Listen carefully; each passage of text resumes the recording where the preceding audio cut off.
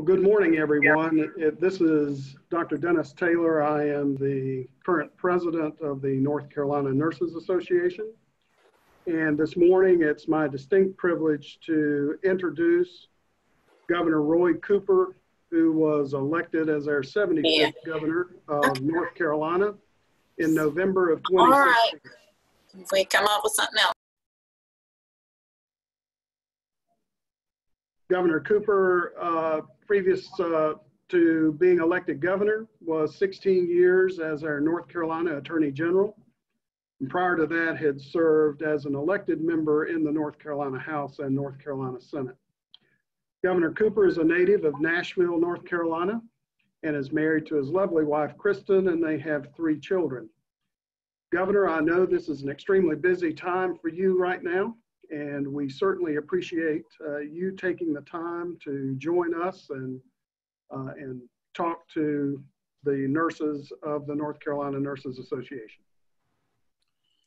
Well, thank you very much, Dennis. And my life can't be any busier than the lives of most all of your members. Dr. Cohen is on the line with me, and she is going to come on after me and also engage with some question and answers. And I'm going to step in here to the next meeting.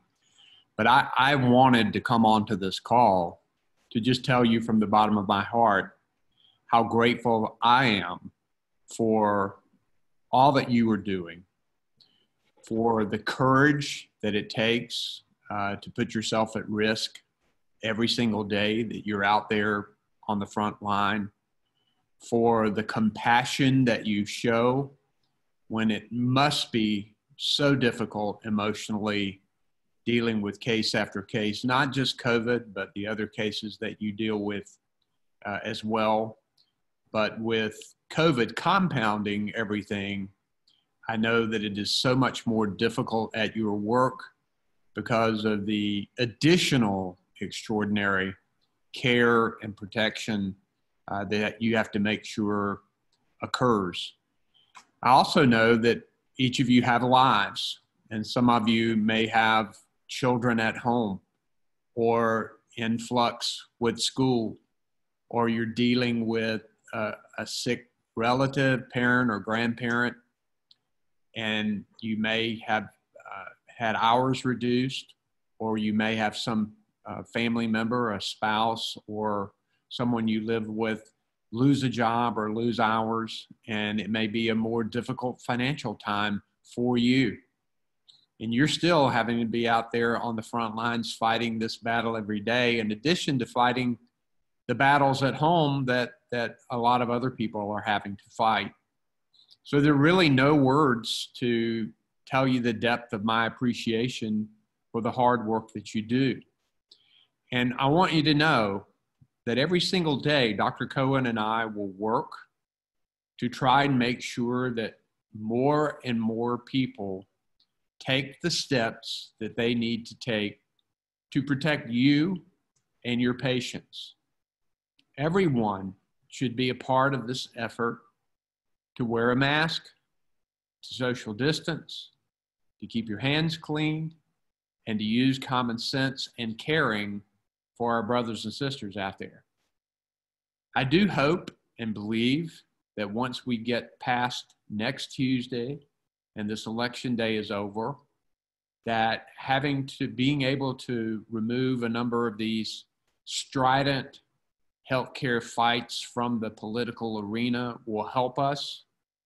I know that it's so wrong to a lot of for a lot of people to view whether or not you have a mask as some type of political notification to other people.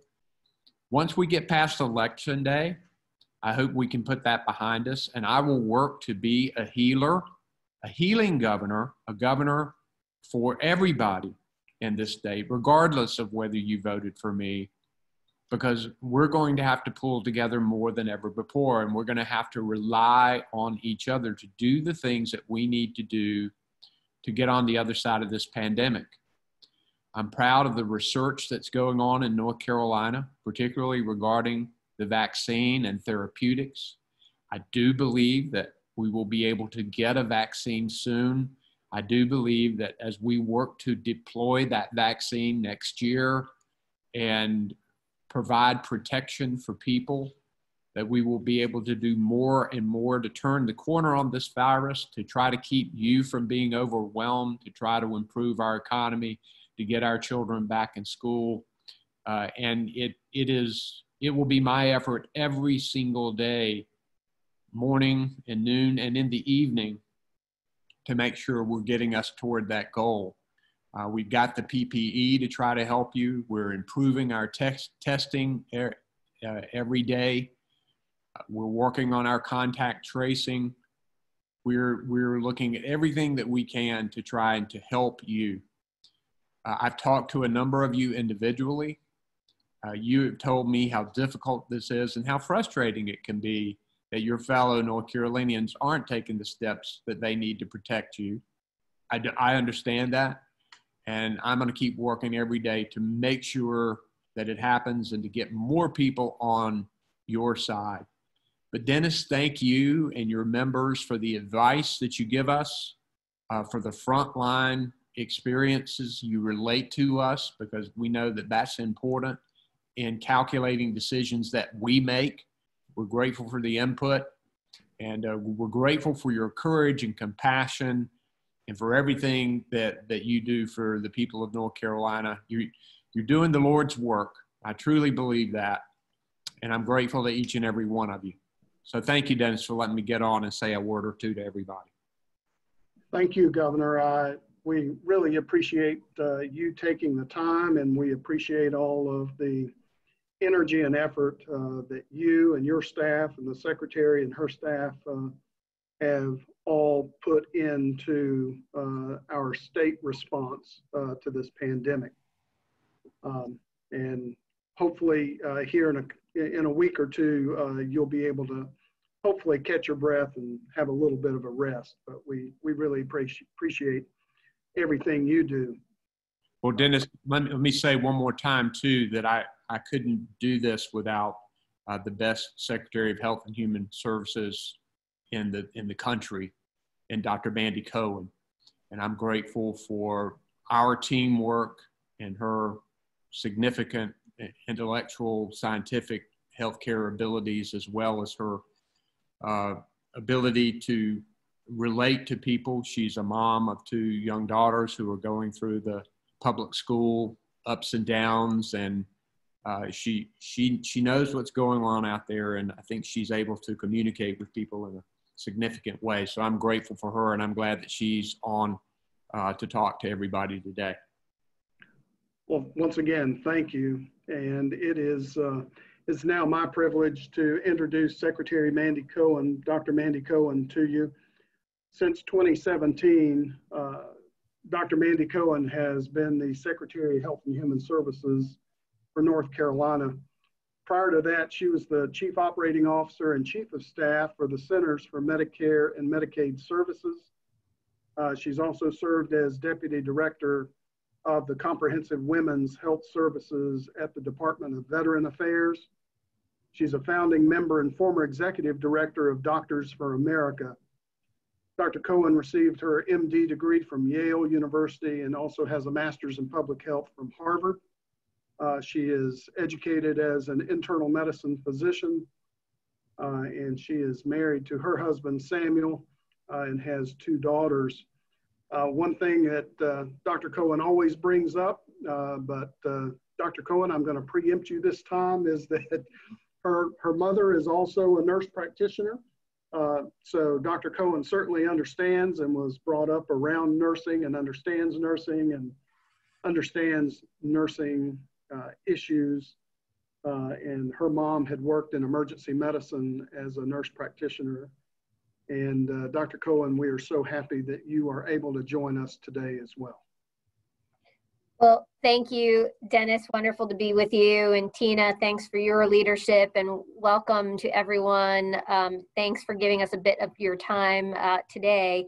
And yes, my mom uh, is a nurse practitioner. She actually had just retired at the end of 2019 before all of COVID uh, started. And she was in emergency uh, medicine for all of her career. Um, and it has been really hard for her to be on the sidelines. She's actually done some um, additional uh, ways to help through telehealth. Um, and and because you know the the nursing instinct and the desire to just leap towards a crisis is something I saw in my mom, and I know that we see in so much of the nursing community. So I just want to thank you um, on behalf of my mom, my whole family, and, and the state of North Carolina for all that nurses are, are doing through this incredibly challenging time of 2020. Um, COVID is certainly the topic that I'll spend most of my time on, but I know it's not just COVID that you're handling with all of the issues um, uh, in, in the medical system. There's still the chronic illnesses that we, we see of diabetes and COPD. Um, there, there are still the cancers that we need to fight, um, the, the heart disease we need to fight. Um, so thank you for continuing on um, making sure that folks get the preventive care they need even in the face of covid and covid just sort of adds to um, the you know the complications. And i know these are anxious times for all of us both professionally and personally.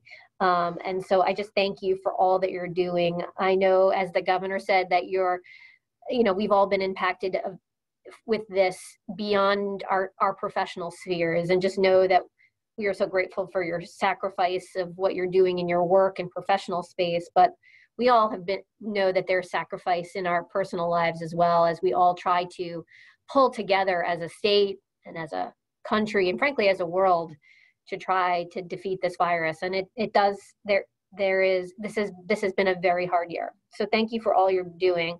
But i will remind you as nurses as my mom reminds me often that nurses have incredible power. You are the most trusted member of care teams, not the doctors, the nurses. The public's trust in you know government and and unfortunately in science has been threatened um, frequently, um, particularly this year. Um, and that's where I think nurses can be so powerful um, as role models. Um, as you think about wearing face coverings and doing the social distancing and being role models in your professional space, but also in your communities your trusted sources of information. I, I still to this day, um, if there is any medical issue in my family, I call my mom. um, she is the best clinician um, that that I know, and I'm sure you all get those same calls from family and friends, members of your churches and your community with with various medical issues and concerns, and that's why um, I'm happy to be on today so I can answer some questions so you have the very latest information about what's happening with COVID because I know folks are, are, are, are turning to you in this time of, of, um, of hardship um, and of COVID. What I can say in terms of what we're seeing right now related to COVID is unfortunately we are seeing a rise in cases in North Carolina as the rest of the country is also seeing rises in cases. I think you're seeing that in the newspaper. North Carolina has had some of our historic high days of new cases. Um, last Friday was our highest day ever of cases with 2,700 new cases in North Carolina in one day. Um, we are seeing more and more folks in the hospital. We have over 1,200 people with COVID in the hospital. That is nearing our highest, is not yet at our highest, but nearing our highest ever of hospitalizations that, that we saw back in July. Um, and you know, it, it is a reminder that that this virus is not gone. And as we head into the flu season, right, and into the winter, you know that flu is circulating, paraflu, other RSV, other viruses are circulating. And we know that the, as the weather cools down and the humidity goes down, that this virus has more opportunities to spread. And we're seeing that already in our numbers. Um, and that's, but I would say we also know much more about this virus than we did back in the spring. One, we, we know important prevention tools, right?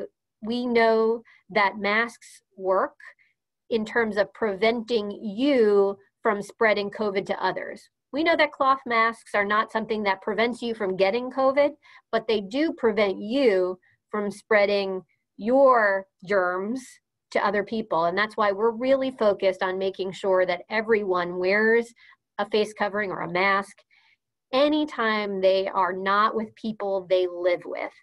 What we're seeing now is actually spread of this virus in social gatherings, right? At home, in parties, uh, small gatherings with extended family and friends. It's because in those settings, we take down our guard. We think, well, I know them. They don't have COVID. They don't look sick. But unfortunately, I think you know this too well that you could have COVID and not know it. And that is exactly what the face mask helps prevent. When you wear a face mask, your respiratory particles that come out of your mouth and nose can't escape out in, into the world in the same way. And we do really see that when folks are, are being good, not just about the mask, but that's important, but also about the social distancing and washing their hands, and we put all those three together, we really can drive this virus down. Um, and that's what we want to do.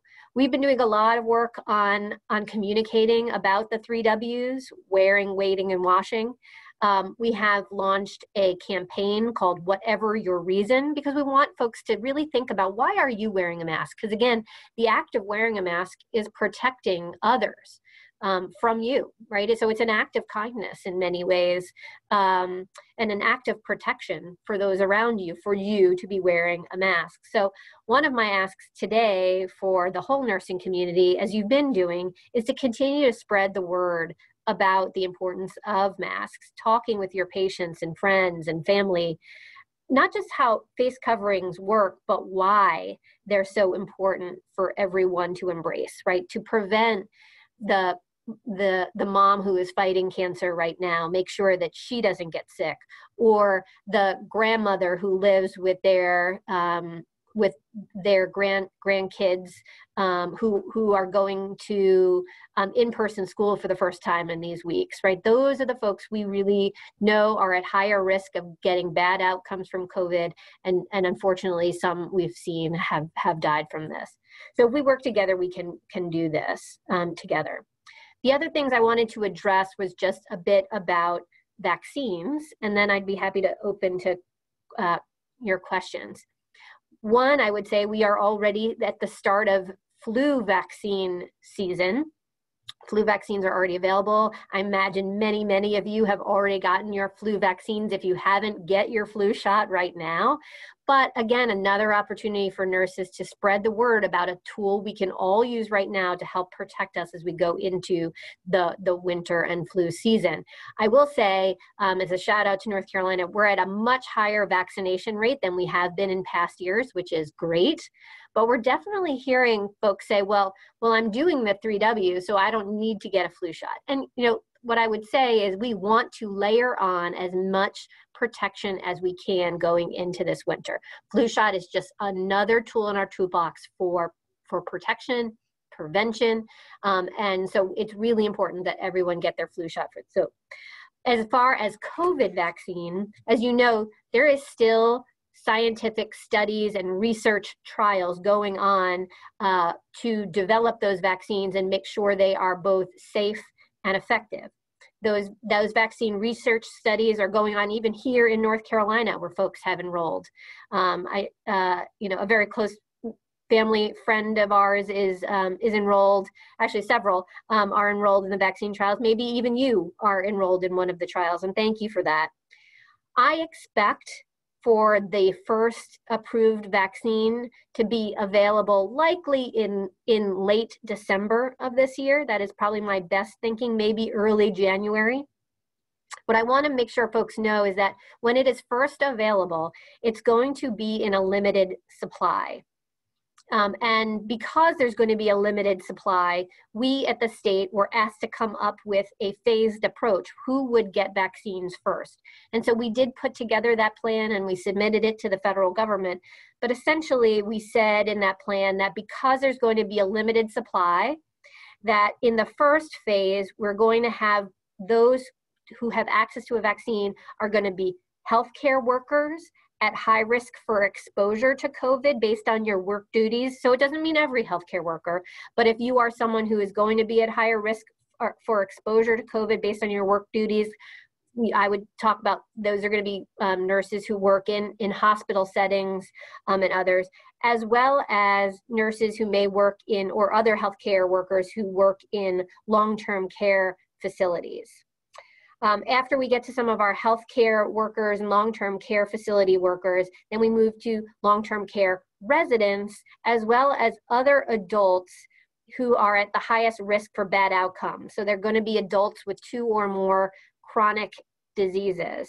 Um, uh, so those are going to be the first folks who are going to concentrate our vaccination efforts. So we actually have a two two parts of the first phase: healthcare workers at high risk of exposure, and long-term care facility staff. And then second, get to those higher risk adults like our long-term care residents, others living in congregate sitting settings, and adults um, with two or more chronic conditions.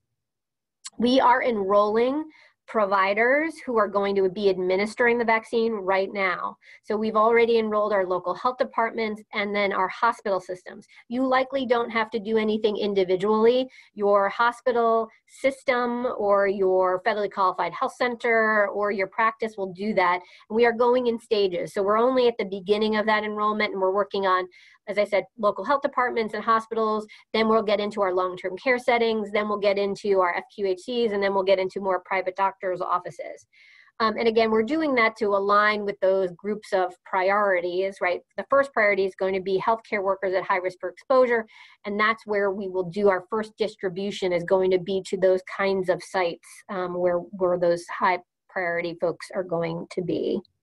So we're also going to be we are we are working feverishly right now. I guess fever is not a good pun to make in COVID times, but we're working hard uh, on rolling out our new data collection system. There will be a new data collection system to to do this work um, because there is different and um, unique information that we're going to need um, that our old vaccine registry was just not going to be able to handle the volume of what we're about to embark on, right? We're going to need to be vaccinating ultimately everyone in North Carolina who wants that vaccine. Um, but I, I want to just uh, say as a word of caution related to vaccine is that we still have a lot more work to do to understand the science. Once the, the, the, the trials end, they will go through a formal approval process at the federal government through the FDA. I will say I continue to be reassured by the very transparent and public process that the FDA is going to go through related to approving that vaccine. I continue to, you know, watch that very closely, look at the science and the data. We have seen a couple of the trials, the research studies on vaccines be paused um, within the within recent weeks. They've had a participant who has gotten sick and they need to investigate that was it related to the vaccine or not and I think that is actually showing the process working as intended, so that by the time we get to an, an, approval process, that they have gone through all of those safety protocols to make sure this is safe, um, and also can prove that this is something that is going to be effective. But I will say that even like the flu vaccine, as you well know, the flu vaccine is something we've had for a long time, is not perfectly effective. It's not 100% effective. You can still get the flu if you've gotten a flu shot, but the good thing about getting a flu shot is if you do get the flu, it will be less severe. And that's a positive as well. And so I think we are going to see um, a vaccine that comes forward for COVID be similar in that it's not going to be 100% effective. Um, we'll see what level of effectiveness is when we see the research data, um, but that is that is um, some of what we we anticipate to learn as we move forward here. Okay, so that's a lot about vaccines that I hope I had seen some questions in the chat ahead of time that were a lot about vaccines. So hopefully I, um, Dennis, I answered some of those proactively, but now I'd love to turn over and see if there are um, others who have, have questions. Thank you. Uh, there are a couple of folks who have uh, written in some things, and um, one of them from one of our members is in primary care, so much of our time is spent helping people navigate the testing criteria and recommendations for travel and work clearance especially for smaller employers who do not have a robust employee health department? How can we get clearer information to share with patients and North Carolina citizens? Sure, great question. So first, I would say we have very comprehensive guidance um, for employers on our website.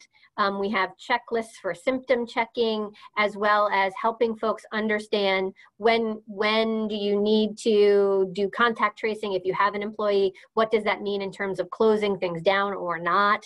Um, so there's um, guidance there. And what I would also say is that you don't need a negative COVID test to return to work. Once you've been sick with COVID, we actually use both a time and a symptom mechanism to decide about returning to work. Again, that guidance also on, on our website um, so that, that folks know that it's not, you don't need a negative test to return to work. So we've been clear on that as well. But hopefully, um, and, and uh, Dennis, if helpful, I'm, I'm happy for my team to pull some of those resources specifically if you want to attach it to the notes of, um, of this presentation as we go forward. That would be great. And obviously, the website that your department has built is uh, chock full of information. And uh, I reference it uh, every time I get a request for an interview uh, to go on and find the most recent information. And it's mm -hmm. very helpful. Um, one of the other questions, and, and one that I had as well, one of our members asked, do you feel the spike in number of cases last week is associated with students returning to school. Mm-hmm. And I'll piggyback off of that with a report that was just released by the American Academy of Pediatrics that said in the last two weeks there's been a 14% increase in pediatric cases, and that now pediatric cases uh, are now over 10% of all COVID cases. Mm-hmm.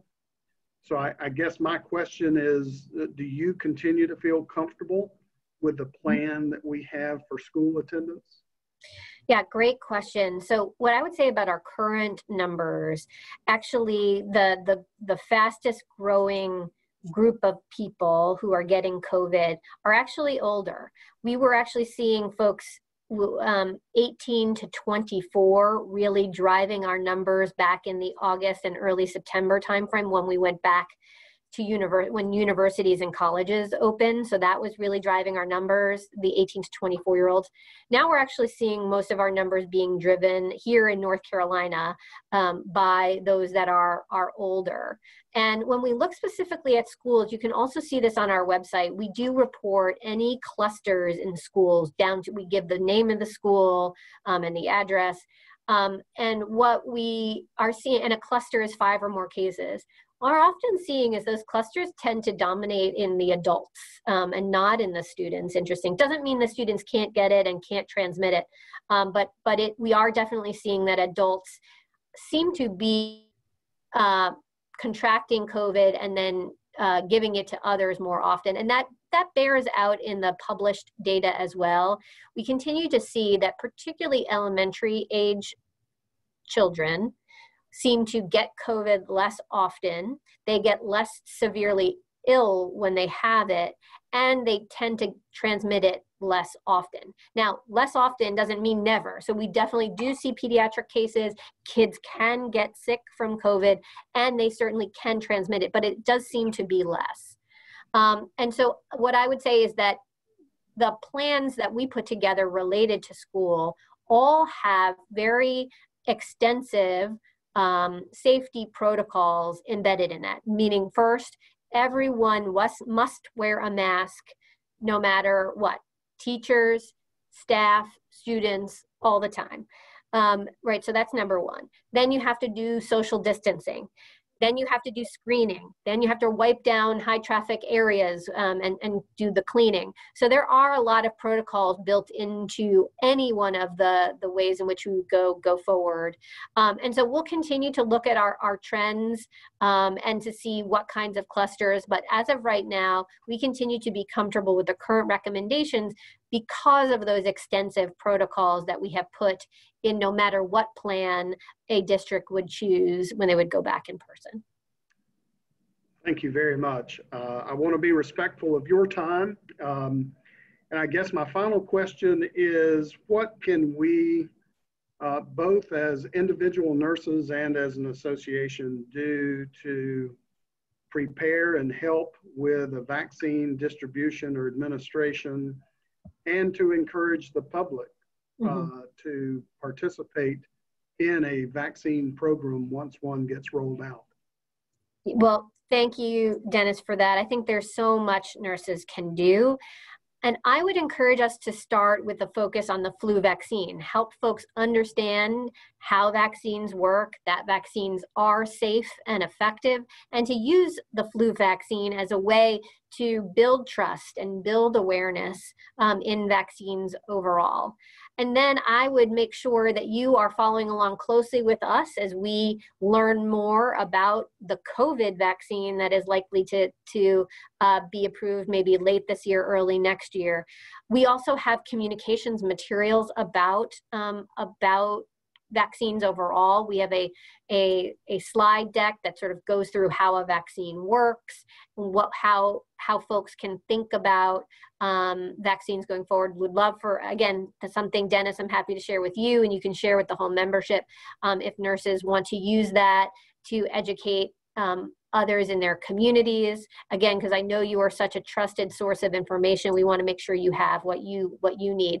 So i would start with educating folks about the flu vaccine because that is something they could do right now and i think it builds um, that ability to talk about vaccine before there is a covid vaccine. And once there is um, for for folks to know a couple of key things. One there's going to be a limited supply at first but also i think because nurses are going to be some of the first folks who are vaccinated because you are frontline healthcare workers, I think talking about um, the fact that you have gotten a vaccine and your experience with this and then and then sharing with folks about why vaccines are important and they can be safe and effective, I think is going to be critical. So I think we can all work together uh, on that going forward. So a lot, a lot to do, and certainly nurses have a, huge role to play in that. So I look forward to working with you on it. Well, thank you very much. And uh, once again, we just uh, we just want to express our gratitude and appreciation for all of the hard work of you and your staff um, in, in, terms of response to this and and all the issues regarding the health care uh, of the citizens of the state. Um, and uh, we, we really appreciate uh, your time, your dedication, your passion, um, and uh, please always, either you or your staff, reach out to us if there's anything at all that you feel like we can do and contribute uh, to help.